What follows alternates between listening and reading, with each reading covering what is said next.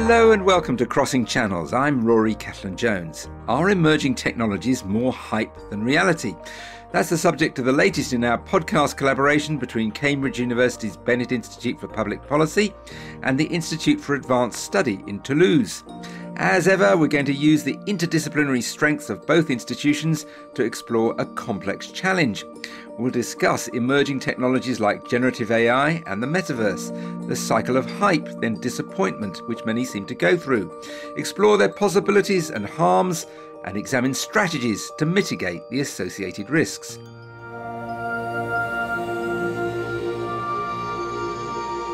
To explore these issues today, we have Cesar Hidalgo from the IAST. Uh, Cesar, remind us of your main research interests. I'm very much interested on how societies learn, so I study the growth and diffusion of knowledge. Excellent. Uh, and joining us from the Bennett Institute, we have Jeni Tennison and Sam Gilbert. Jeni, uh, what does your research focus on? Well, I run a campaign called Connected by Data, which seeks to give communities a powerful say over how data is collected and used. And I'm most interested in learning from how other sectors, regulation around food or housing, can be applied to data and AI. So we'll have lots to discuss in terms of how these technologies impact the general public. And Sam, what are your main research interests? So at the moment, I'm particularly interested in helping policymakers and members of the public get a richer and more empirically informed understanding of digital technologies and what they might mean. So we've got an extremely well-informed panel to uh, to crunch through these issues. We're going to be looking at two technologies in particular. So let's start by introducing them. First, there's been tremendous hype around generative AI tools like ChatGPT, or to use the lingo, LLM, large language models.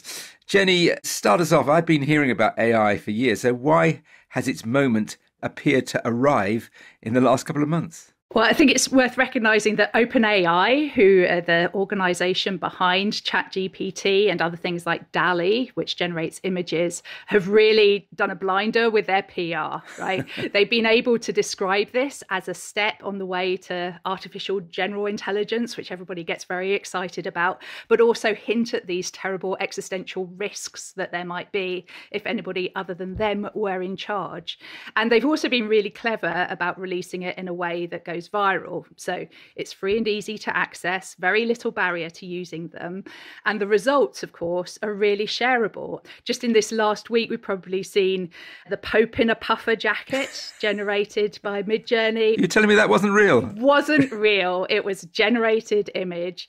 But it's important to remember that we're we're not actually talking about some magic here, and this isn't artificial general intelligence. It's just lots and lots of computer power over lots and lots of content that has been generated by humanity over centuries, and then very well marketed by companies who really want to sell their products. Sam, have you got a theory about why companies like DeepMind defeating champions of Go, we've had self driving cars and so on, why this particular tool has really made the world sit up and think and worry about AI?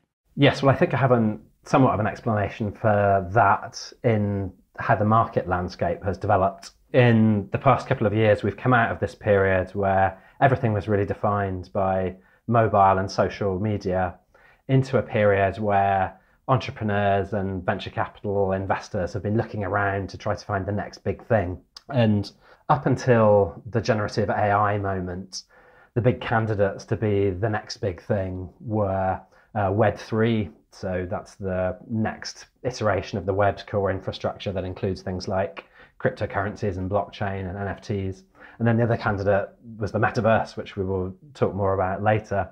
But I guess the reason why generative AI has so much momentum is because investors, entrepreneurs are just really desperate to find new places to put their capital to work and develop the next generation of businesses that will achieve the same sort of scale that Google and Apple and Meta and all of the rest of the big tech companies have managed to achieve. And Cesar, this is global, isn't it? It's not everybody everywhere seems to be excited and worried about AI all at once because of this tool. Indeed, it's both global and local. On the one hand, the consumption is global. Like people all over the world are using these tools because the web is an excellent distribution channel for them. But on the other hand, their production is extremely local. If you think about it, uh, OpenAI has been successful in a world in which other companies that are also very well endowed in terms of human capital, such as Google and Facebook, have failed to produce models that are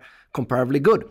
Similarly, like Midjourney, it's so much better than DALL-E when it comes to produce images. So what we have is a world in which production is extremely localized. Even within Silicon Valley, there are winners and losers, and consumption is extremely global. These are technologies that can have a billion consumers by, by the end of the year. So that's one of the technologies we're going to talk about. Sam, you've already mentioned it, and you've recently released a, a policy brief on it. The other big trend, much hyped over the last couple of years, the metaverse. What on earth is the metaverse? Well, this is the $64,000 question. Nobody, I think, really agrees what the metaverse is. So all one can do is talk about what different sorts of people mean when they talk about the metaverse. So perhaps the best place to start is in science fiction. So the term the metaverse originates in a novel published in 1992 by Neal Stephenson called Snow Crash. And actually quite a similar vision of the metaverse appears later in a novel by Ernest Cline called Ready Player One that got turned into a film by Steven Spielberg. And in those sci fi books, the metaverse is a kind of 3D embodied version of the web. So I define it in the policy brief that you mentioned as a massive, immersive, persistent, open, and economically developed virtual world. So it's something where you can exit from the physical embodied uh, reality that we live in day to day and go and live in in cyberspace in exactly the same way that you you do in the real world. And that's all enabled by virtual reality. The more prosaic reality of the metaverse today is that there are companies who have developed virtual reality hardware and software that they would like to find a bigger market for there are companies that are developing massively multiplayer online games and other forms of virtual reality software that they would like to find a market for. And those companies have, I suppose, used the metaverse as a way of articulating why their products are part of an exciting future of the internet rather than simply things that you can use for entertainment or to make the experience of remote work a little bit more interesting. So uh, essentially, the metaverse is different things to different people. And we're going to come back to it in a moment. But first of all, let's let's drill down into the policy implications of these two technologies. And, and first, AI. Jeni Tennison, obviously, we're seeing lots of exciting examples of, of how generative AI could revolutionize various industries, but we're also immediately seeing ethical concerns. What are the main issues policymakers need to get their heads around in the development and use of it? I think I'll um, quote Emily Bender, who was the prime author of Stochastic Parrots, this seminal paper on LLMs that came out last year about where those risks are because as I alluded to, open AI and similar will, will have you believe that the risks are, are kind of existential long term risks about the way that artificial general intelligence might develop and take over the world. But actually, there are risks here and now. The concentration of power in the hands of particular types of people, as Cesar alluded to, re- reproducing systems of oppression, damage to our information ecosystem. We're seeing how these technologies can crank out stuff that looks real, like the Pope in the puffer jacket, right, in a way that then pollutes what we see and makes us um, believe things that aren't real. It adds to a misinformation at scale, at real scale. And then there's the damage to our natural ecosystem. So these models require huge amounts of compute and storage power, and that takes energy and electricity. And obviously, that has carbon impacts too. It's those bits that are about who is in charge of these technologies, what decisions are they making, and in whose benefits that we really need to worry about. Can you explain to me why a tool which you know will on cue write a, a reasonably funny limerick is is going to pose a threat to particular sections of the population? Yeah, sure. So First of all, I think there's the bit about what reality these tools reflect. If you remember, the way that generative AI works is that it takes in a whole bunch of content that has already been generated over centuries, the stuff that is on the internet right now, and that historic information reflects our historic and current biases. So you get lots and lots of pictures if you ask for them. If you ask for a picture of a CEO, you get a smart white man in a suit, right? If you ask for a scientist, scientist, you get a smart white man in a in a white coat. Um, so there's the the fact that it embeds these existing ideas and the biases that we've had for for ages into what we generate into the future. There's also the fact that these technologies are going to be used, as we've seen with social media, to target people based on characteristics. So, for example, technology is being used to nudify women, to get pictures of them just based on their normal clothed picture to see what would they look like naked. That kind of stuff is going to be the, the thing that gets created. And, you know, our historic oppressions are going to be perpetuated into the future. And the final bit about the pollution of our information environment is just that when you go and search on the web currently for information about something, I don't know about you, but increasingly I'm finding that I'm getting content that feels robotically generated, even if it isn't actually. It's stuff that is there for clickbait, but it doesn't demonstrate unique thought or any kind of creative spark. And with generative AI, we see lots and lots of these copywriting tools that allow us to crank out that kind of content really rapidly, really quickly. And just the volume of that builds up so that we can't find the stuff that is by real people talking about real things that are new and novel and exciting. Cesar, have you seen evidence yet of, of real harms from this technology? Well, I, I, think it might be a little bit um, soon to say, you know, but I do agree on the trends. You know, I do agree that on the one hand, there is an overload of information. On the other hand, I do think that there are other risks that are important and they might be materializing right now, but they might be a little bit more long term. For instance, you know, young children getting used to the fact that you have models that you can ask for information and, and taking that at face value, failing to develop that critical thinking skills that you need to process and filter the information that you consume. Hasn't that been the case for ever since people began to use the web in general? I would think so, but now you have this sort of authoritative tool that is dialoguing with you and that might be psychologically different for a young person compared to an article that might come from a reputable source or might come from a more shady source. And, and you might have some cues, some heuristics that allow you to maybe start figuring out how things are created and, and whether they're real or not. So I don't think that the problem is new. I think that technology, as always, amplifies uh, aspects of our humanity. So I do not blame solely the technology. I do think that the technology amplifies vices that are part of human nature, but I do think that also as technologies develop that we can indulge in, we need to develop more restraint you know similar to the example of you know the availability of sugar and obesity. We have now a technology that can push us into a world of you know misinformation content that sounds authoritative and is not such. That's i think where, where the danger is at in that slippery slope and the interaction with human nature. Sam isn't one of the problems the, the very people who may be in position to do something about this to impose restraints are going to find it however smart they are very difficult to understand where this technology is going it's going to be galloping off into the distance while they um, chew their fingernails. Yes, I think it's inherently very difficult for policymaking and regulation to keep up with technological change. And I guess one could make the observation about legislation like the online safety bill, which is going through Parliament at the moment. That's a, U- a UK regulation. Yes, the online safety bill, the UK regulation, which is designed to make sure that tech companies have increased accountability for protecting their users from harms.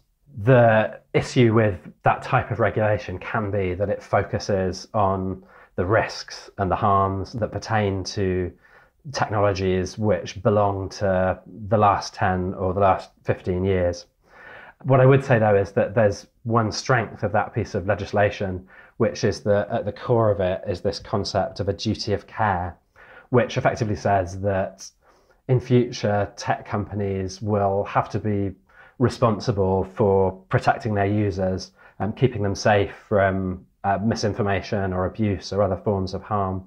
And it seems to me that that type of principle actually fits quite well with a landscape in which technology changes a lot. Uh, Jeni, what about the people actually advancing this science, the technologists themselves?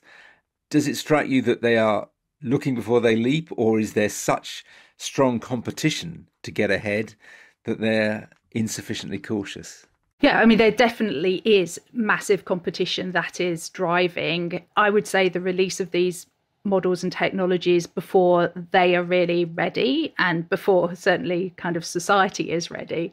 But I think we should recognize that there isn't an inevitability of adoption right? We do have some power over whether we adopt these technologies in our workplaces, in our schools, in our communities, in our professions. How we do that is down to us. It isn't like that's going to just have to happen to us, as well as the kind of high level regulation that Sam was talking about, as well as those kind of larger frameworks. We have to have frameworks that also drive those conversations at that more granular and context specific level. How should these technologies be used in recruitment, for example? Or how should they be used when we're dealing with the law? Or how should they be used in a particular school or in your particular workplace? That is, should be a matter for discussion, for setting up guidelines and principles for that particular context with those particular stakeholders, individuals who will be affected by the technology. So we do need to have a kind of larger societal level kind of conversation about the the big impacts that these are going to have but we also need to not subscribe to the kind of inevitabilism of of these technologies we do have control ourselves about when we use them and we can have that negotiation in our workplaces and so forth i was at an event yesterday at a marketing agency and people from across the marketing world they'd all heard of ChatGPT. They were all tremendously excited. They were all telling each other that from jam makers to plumbers to architects, nobody could afford to miss out. There is a huge amount of pressure, isn't there, when these technologies arrive? Yeah, definitely. And and I think generative AI is a new general purpose technology, but we do have choices as we go along that path and we do have choices at, even at a very granular level about when we adopt and how we adopt. We need to experiment and there needs to be room for experimentation so that we can put in place the right kind of guidelines and barriers in order to to get a positive outcome in that large timescale. Cesar, you wanted to come in. So um, I agree with Jeni that we have choices that we can make individually, but I also do think that it's important to consider that there are multiple scales in society in which those choices are going to interact. So when electricity comes along, you can decide to continue to run a factory without electricity. But the question is, are you going to be able to remain competitive? When these technologies come along, you can choose not to adopt them, but the question is, in the context of your firm, let's say if you're an advertising company, are you going to get out competed by those that do? And at the end, the inevitability doesn't come from individual choices, but comes from that secondary level in which different groups of people that have made different choices compete in an environment in which some of them grow and accumulate more resources than the others. And I think that's you know what makes this complicated. It goes beyond individual choice, because of that second layer of selection and competition that the market has. And there's also the global context. I saw one Silicon Valley kind of evangelist for all that saying, yeah, okay, if we stop for five years, do you think the Chinese are going to stop for five years? Exactly. Sam, is, is, is that kind of thinking uppermost in the minds of policymakers? They're, they're, they're looking at global competition. They both want to control it, but they don't want to be left behind. Yes, and I think there are some real tensions between different types of policymakers when it comes to this technology. Something we haven't really touched on very much is the enormous potential that generative AI has for increasing economic productivity in certain sectors. So it may well be that there's a group of policymakers who very much want to promote the use and adoption of the technology because it should have favorable economic outcomes that then become beneficial to society. At the same time, there's going to be another group of policymakers who are very worried about the types of concentrations of power that Jeni alluded to earlier and will really be wanting to preempt the emergence of OpenAI as the next big tech company. So I think they will incline towards competition policy as a defense against the potential development of new technological monopolies. A third group of policymakers who are more focused on issues of online harm may then see competition policy as something that militates against their ability to preempt harms. So, if, for example, large language models, generative AI became much more open sourced and more and more individuals and organizations were able to run them on their own hardware, it would become a lot more difficult for policymakers to implement measures that would insist that those companies put in place guardrails of the type that, to their credit, OpenAI has been doing in relation to the GPT models. So potentially different constituencies of policymakers are going to think about this very differently. Well, let's move on to the metaverse, which was a topic of huge excitement, possibly excessive excitement last year. One one company changed its name; it was so convinced that it was uh, the the future. A company called Meta. So, how much should all of us citizens, business owners, policymakers care about the metaverse? Is it the next big thing, or should we just get on with worrying about AI, Jeni. You're sitting there not looking, as far as I can see, too concerned about the metaverse. I am very skeptical about the metaverse in the way that it's described as a kind of virtual reality version of our current reality. I think we already, in some ways, occupy the metaverse in that we communicate with each other digitally. We're talking to each other over the Zoom. We're, We're in a 2D metaverse. Yeah, having discussions on Twitter. You know, I'm not convinced that the benefits of the kind of fully embodied version, the VR fully embodied version, are going to be so much greater than what we already have through our current methods of communicating with each other. For me, then, the metaverse is about connection with other human beings, right? It is about the communities that we create and our relationships with each other. I'm not convinced that the fully embodiedness of VR, especially this kind of stuff that we're seeing currently, is going to give us that much more of a benefit than the, the ways of connecting that we currently have. Sam, we've seen, uh, well, I've seen reporting on this wave after wave around virtual reality back in the 90s, it came along, it made everybody sick, it went away. It came back massively in, in the last decade, huge amounts of investment, augmented reality as well as virtual reality.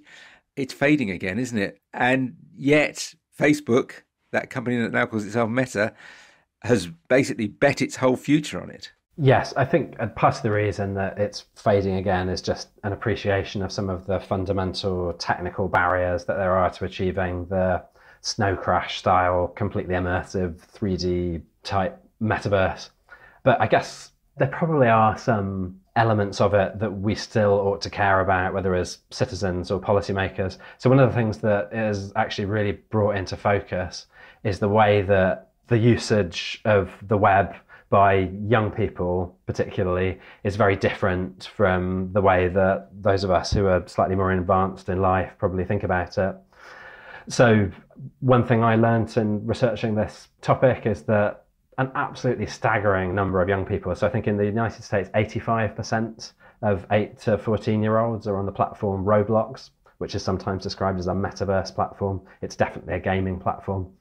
And within platforms like Roblox and also massively multiplayer online games like Fortnite, there is already a very significant trade in virtual goods.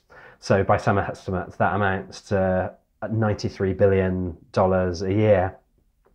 And it also seems to have done something to change the threats and the potential harms that people are exposed to when they use these platforms. So, I think when policymakers are contemplating online harms at the moment, they'll be thinking about issues like cyberbullying, for example, or the exposure of young people to content that promotes self harm.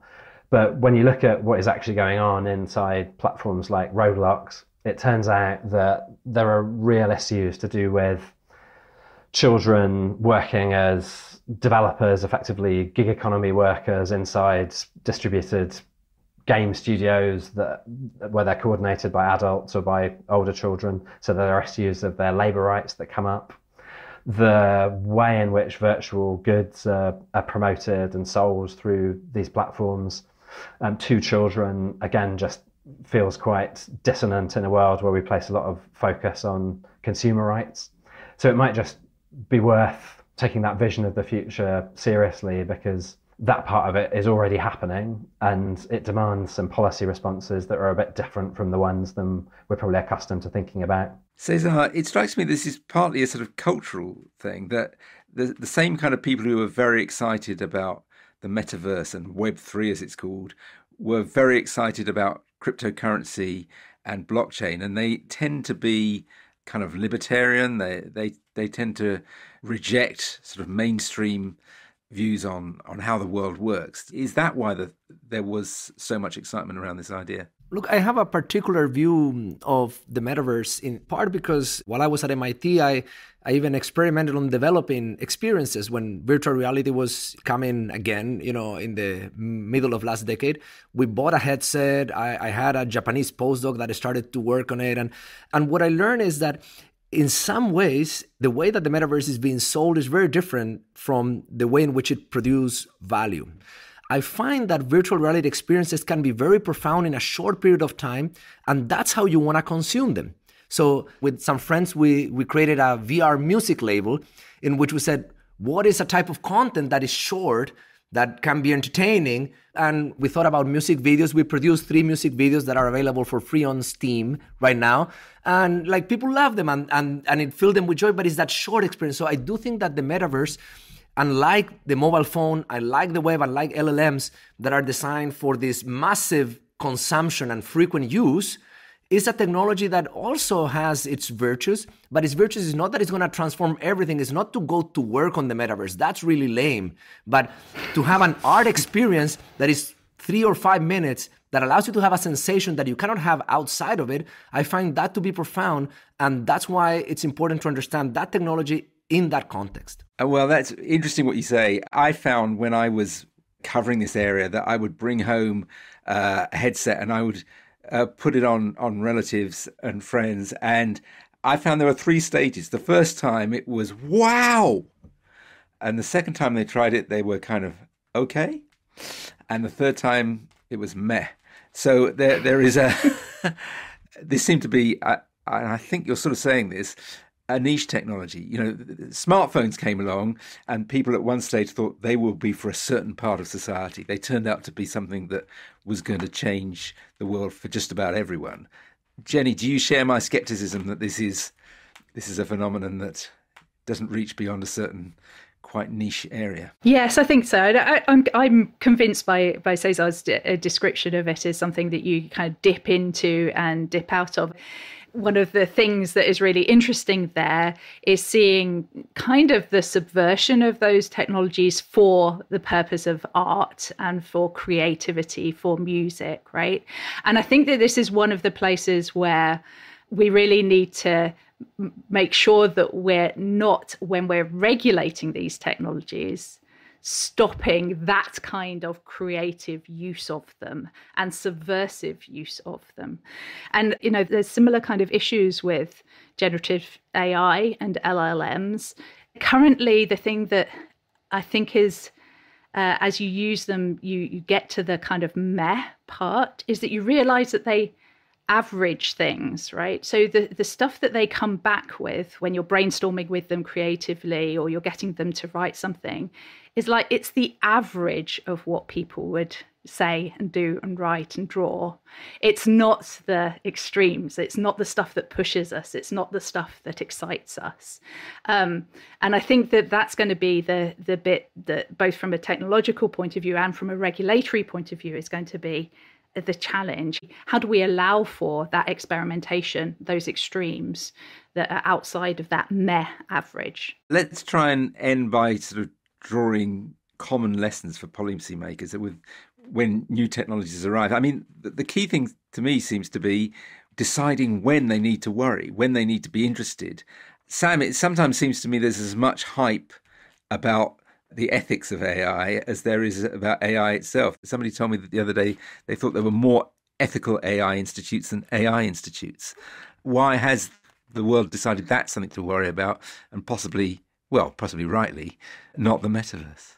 I think there's probably two good explanations for that, or maybe three good explanations for that. The first one, I think, is that we all have quite strong mental models of what a dystopian future in which humans have been supplanted by intelligent machines looks like. And I think those background assumptions, whether they come from Snow Crash or whether they come from The Terminator or Philip K. Dick or whatever it may be, they play a really important role in how people think about technology. So, yeah, ethical AI, I think, is partly a an outgrowth of it just being easy to imagine those futures thanks to sci-fi. Probably the second good explanation uh, relates to a concept called criti-hype. So this is something that was coined by the science and technologies studies scholar Lee Vinsel.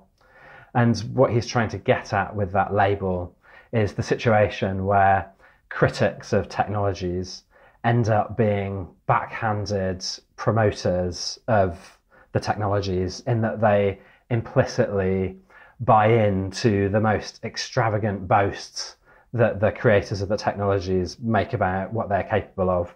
So, from the previous generation of technologies we were worried about, we might look to somebody like Shoshana Zuboff as being an unwitting proponent of criti-hype, in that she believed or believes the worst things that um, Facebook or Cambridge Analytica said its technology could do, and as a result of that, has arguably ended up setting the policy agenda around data in a way that ends up not being all that helpful because it's it's quite sort of decoupled from the much more banal reality of how targeted advertising happens.